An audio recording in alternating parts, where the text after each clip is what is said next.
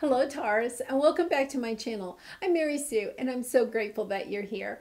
Today, I'm going to be doing your mid-July reading. So this reading will be good for the last two weeks of July. And if you're enjoying the content I create or resonating with the message, I would really appreciate it if you would consider like, sharing, or subscribing. Okay, we're going to take a look first at the overall energy um, in your past and present positions, and then any advice or obstacles that may be on your path, and then finally your your future um, outcome if you were to take the advice from spirit. But remember, you always have free will.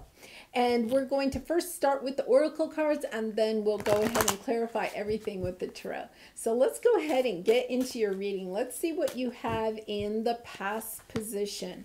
Shining through. So um, I'm really getting a sense that for some of you, you know, in the past, you, you may have come into this really wonderful energy, like shining your light, being recognized and appreciated by the people in your life, whether that's in your relationship relationships or at work, just realizing um, just what a beautiful soul you are, Taurus, and um, and feeling that, you know, feeling that connection um, with others about how much they appreciate you.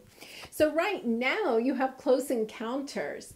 This is a sense that there are people um, uh, that have passed from your life. So these are deceased family members, or it could be ancestors that are, you know, spirit guides, angels that are nearby helping you through this um, at this time. So perhaps the shining through has been somewhat of a burden for you in some way. Sometimes when we ascend or you know, we start to get a lot of recognition. It's kind of exciting at first, and then you know, then you start seeing, you know, there there's maybe a downside to it or something. But you definitely have uh, spirit guides, angels around you that are trying to help you through this time. So your obstacle is opening to discovery. This is you having uh, perhaps a hard time opening to your intuition or opening up to your connections with your spirit guides and angels. You're just um, maybe not sure in what direction you're supposed to go. Like, I feel like something new and exciting came onto your path, but now you're just kind of like stuck. Like, okay, where do I take this? Uh, what's my next step? How does this, you know, affect my life? So let's see what your advices, healing the heart. This is all coming in so that you can heal some situation from the past. Um, and once again, you know, I, I really feel like these two cards, look at how the car the colors are so similar. The shapes within them are very similar. It's um your ancestors, your spirit guides are coming in to help you to heal your heart. There could be, uh, we're going to clarify all these. There could be some, you know, with the shining through, there could be some also disappointment. Like you may have, you know, um, let's say it, it has something to do with career. You may have gotten promoted, right? And now all of a sudden you, you're at a higher level than maybe your friends on you know your past um, position at work. So now you kind of feel like well i'm kind of like losing my friendships at work. Um, so it's kind of nice that i i got promoted i got a pay raise but i miss the connections with the people at work. It could be something like that all right, so the future, spirit of gratitude. You're going to understand by, oh, and earth magic. So make sure that you're staying grounded. Um, you know, spending time in nature, walking barefoot in grass if you can, eating a lot of red foods like, um, you know, beets, uh, red sweet potatoes, um, anything that you know is like grown in the ground like especially under the ground is really good for grounding.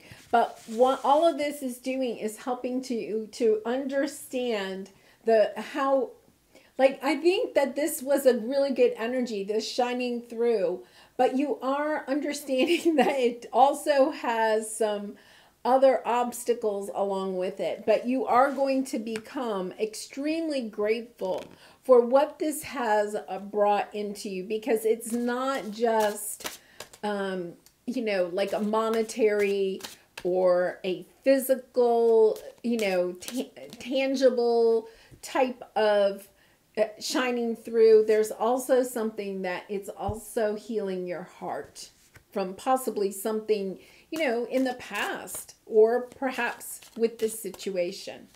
Okay, so we're going to go ahead and clarify these. Eight of Wands. Yeah, this is, e you know, this is you taking uh, some action or getting some communication about how how to move forward, how to shine your light. For some of you, I'm getting a sense that you kind of maybe went out on your own. You may have started your own business. Um, with this Eight of Wands, it's about you taking action to make, to allow your light to shine to others. You may have, you know, started um, a side business, maybe a spiritual business or a blog or, um, you know, some type of, I, I really feel with this Eight of Wands, it's about communicating. You may have put yourself out there, your ideas out there, and um, and maybe you weren't completely um, appreciated by everybody, but you knew how important it was to shine your light and put your your ideas or your positivity out into the universe. So now you have some help from the, you know, the spirit realm. Two of Cups. you have somebody new, you have a new love. This is a true soulmate. A lot of times, you know, even a twin flame connection, but a true love soulmate that is coming in, and this person has been put on your path because uh, your spirit, you know, guides, your angels, descended ancestors have put this person on your path for a specific reason. It could be part of your journey. And remember, you have healing the heart. So, uh, really lovely. Okay, opening to discovery. You have the seven of pentacles. This is putting a lot of time and effort into something, but I feel like you're you're not getting the rewards that you were hoping to. You're you know, with the seven of pentacles as an obstacle, it's like you may be feeling like you put so much time and effort into something and it's not coming into fruition or you could be looking for some new areas to put your time and effort because we have that with opening to discovery. Okay, so healing the heart, the emperor. This is you coming into your own power, um, but it's also, you know, with the healing of the heart, it's about you know, perhaps I'm getting a sense that some of you may have been in a love connection that somebody was extremely controlling in that connection and that kind of broke your heart but you have this person here and we're going to see if they're the same person or if this is a new love with the two of cups Okay, spirit of gratitude, we have the world. Yeah, you're really ready to check to you know, go ahead into a new chapter in your life. You're you're ready to um accept you know, be grateful for everything, how everything has turned out in the world. That's what they're saying to me. You're going to be grateful for how everything has turned out in your world. On the bottom, we had Eight of Swords. You are, you're kind of caught up in your, your head. You want to make sure that whatever you're manifesting lasts the test of time. Um, but you're also willing to move on to, towards something new. And then you have the victory card. So you have a lot of positive energy. It's your your fears about making sure you can hold on to something for the test of time. Not sure, Taurus. Did you have um, a similar reading last week? Uh, somebody did. It may have been you. Okay, so the devil just popped out as I'm talking about, um, you know, your uh, holding on to your fears um, of you know have something lasting the test of time and then the devil pops out um, that is you know it's kind of like that this is your toxic pattern that you're wanting something you want to make sure something lasts forever. Interesting. Yeah they're they're indicating that it's okay to start to step into new chapters in your life not to you know everything in some time everything has its season. That's what they okay everything has its season. I think there's a song and the lyrics are something you know like to every season you know uh what is that? There is a i don't know turning turning into the new seasons or something. Um that you know to allow things to leave and not to be uh, stuck on holding on to things in your life or or situations or people to allow things um, to leave. And you know it's interesting because i have the butterfly they're saying you know butter you know allow the butterflies to fly away. And if they're meant to be in your life if they're meant to return then they will return. This is about either you or somebody in your life because we have the emperor. I think that the emperor is talking about somebody here not allowing other people in their life to have freedom whether that is you taurus or it's the person that you were in a connection with or you're dealing with now. Somebody is trying to um, almost cage right? Cage um, cage either you or situations in their life, kind of like holding on to them, not allowing them to fly free, and realizing that if you allow things to leave, there's a good chance if you know they can return, but you want them to come back on their own. Like um, you don't want to. Uh, you know, shackle them to you, and you definitely don't want to be shackled to anybody else, right? It's about um, allowing allowing the people that want to leave your life to leave and the people that want to stay in your life to kind of stay as well as long as that's not toxic right? I think there's some, something about holding on to people or situations um, too long and almost in a controlling manner here Okay, so with the Eight of Wands, we have the Ace of Wands, the Seven of Swords, and the Fool card with the Chariot. Somebody here is taking a lot of fast action. And this comes with the shining through. Like somebody here is making, um, coming in with a lot of communication or taking fast action. And we have the Ace of Wands. This is, you know, a new offer or inspiration. Um, a, a spark, you know, and it could be in passion. It's definitely a passionate type of energy. Um, and really running kind of almost selfishly, either towards this or away from this, however you take that, because here's the Fool card. It's like, yes, I'm running away from something else. And it could be that you felt like you were being kind of like controlled or in a controlling situation. Somebody wouldn't let you go. Um, and so somebody here wanted to run away, like in the middle of the night, looking for inspiration to start their new life. So, Taurus, that's either you or it's the person that you were dealing with, wanting a fresh new start in either life, love, career, um, there is a lot of cards here about love. so it could be a love situation. So with the Two of Cups, we have, all right, you intuitively know this. This is the High Priestess. So with the Two of Cups here, and remember, this is like a really true soulmate, um, a true love connection. It could be that somebody here was the Knight of Wands. Um, kind of here today, gone tomorrow and it's you know there's a, um, a kind of a sense of a solitude. I think you got on top of this person that may have kind of run away. I'm getting a sense of that.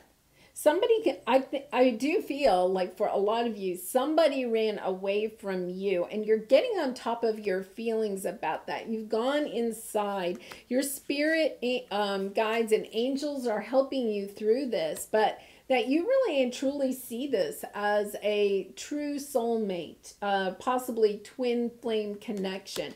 And I do think that there could have been some toxicity in that relationship because we do have the devil card and the emperor. And to me, the emperor a lot of times does have like an overly controlling um, type of energy to it. Okay, so let's look at your obstacle. The Seven of Pentacles has the King of Cups, the Ten of Pentacles, the Eight of Cups, and the Five of Cups on the bottom. So I really feel like this is your energy. You know, you put a lot of time and effort into this. You're having a hard time uh, giving this up. You really thought that this King of Cups perhaps was somebody that was going to be a long, around a long time and you're wanting to walk away from this energy. Like i feel like this person's energy is still in your aura. Like you really want to walk away but you are having difficulty walking away. And it's because you put so much time and energy into it. You're like oh like i, I stuck around too long. Um yeah, that and that's a hard energy. Is it, it really is. Uh, I've been there and it's kind of like, yeah, you sit there and you, oh, I put all that time and energy into it. And if it's not a love connection, it could be, you know, like a business that you had that you kept too long, may have lost, you know, more money getting out of it because of that or you may have stayed in a job too long. There's something there about like staying too long or feeling like like you had to stay there too long, stay there longer than you really wanted to.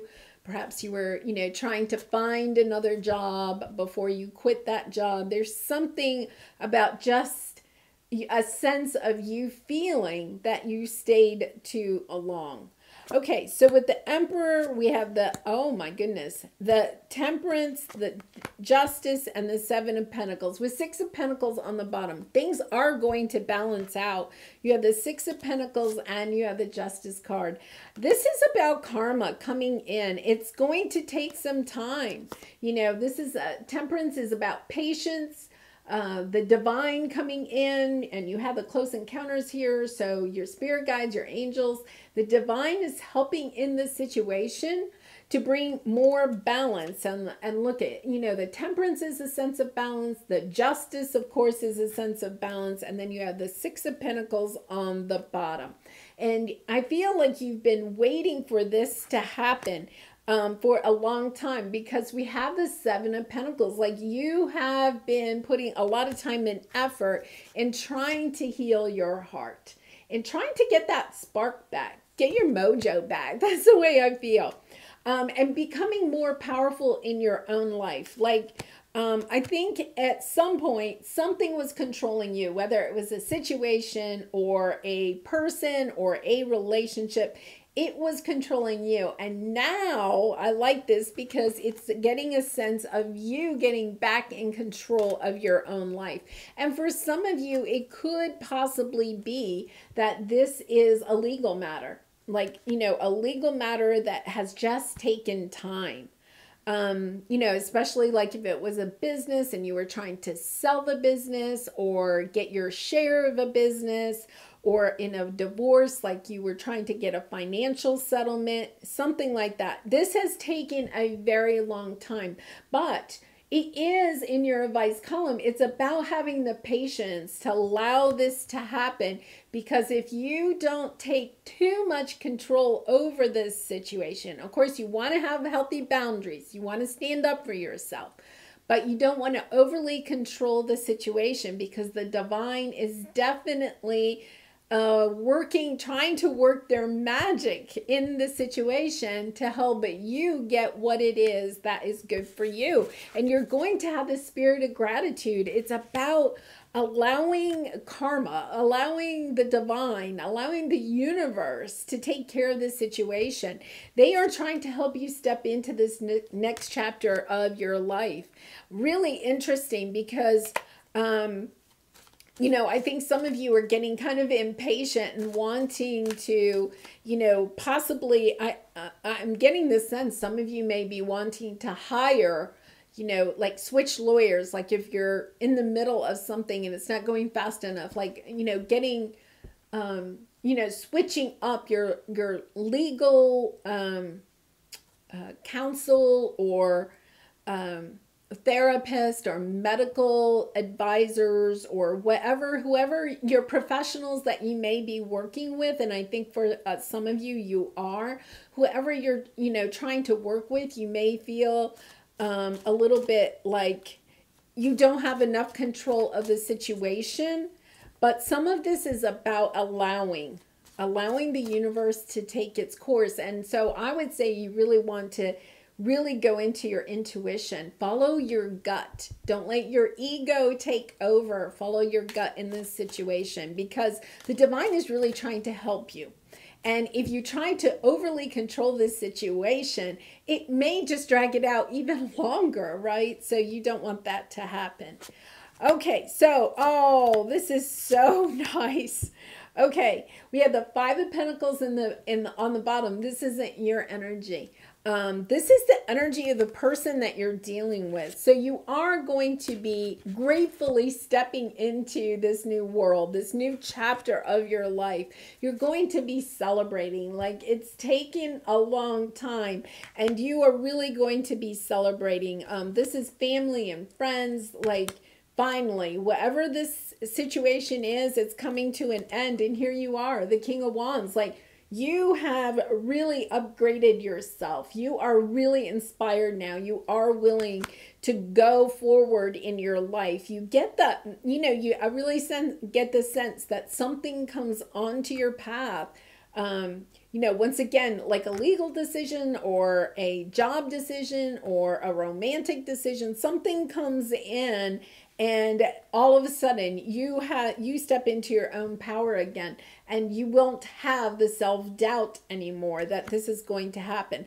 Um, they're telling me that your your own fears and own doubts are are getting the maybe the best of you in this situation um, to surrender to allow this situation to play out because it is going to play out in your favor Okay, let's get a creativity oracle card for you.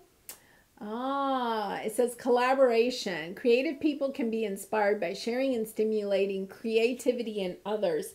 It seems to me, I thought we had the um the 3 of pentacles. It may have been on the bottom somewhere, but it's about you working like don't Collaboration means that you are collaborating with the people that are helping you on this path. You're not trying to take control and you're not allowing somebody else to completely take control. Collaboration means everybody's opinions are heard and appreciated and you know discussed perhaps and then you move on as a group that not one person is you know, I mean, you always have a leader, you always have to have like a group leader, but somebody isn't running a, around with the control completely, that there is um, collaboration in how to go forward. And they're also telling me that you need to be collaborating with spirit. So, once again, meditating, um, reaching out you know, to your spirit guides, your angels, your deceased loved ones,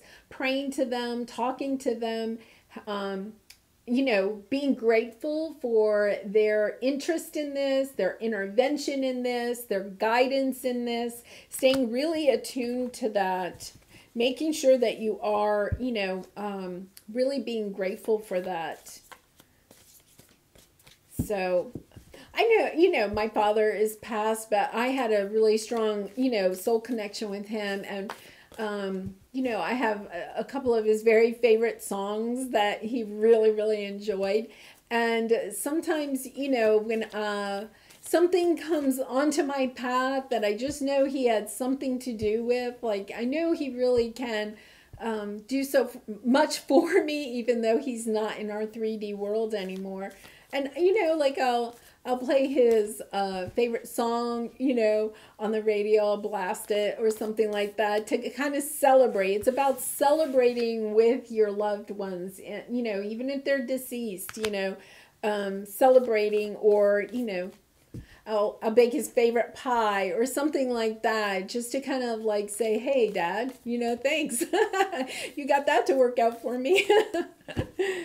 All right, so here we go. This is your lover's oracle card, power. You instinctively know what is right for you, and you have the power to say no or walk away at any time. And I do feel like for some of you, you feel like you're your your back is up against the wall you're caged in and somehow or you were in a past situation it is about stepping into your own power but also realizing that you can't overpower others or you pro I think you know Taurus from this past situation how you know being overpowered doesn't really help the situation at all it is about this collaboration and collaborating with everybody that's in the situation with you and being grateful for their help.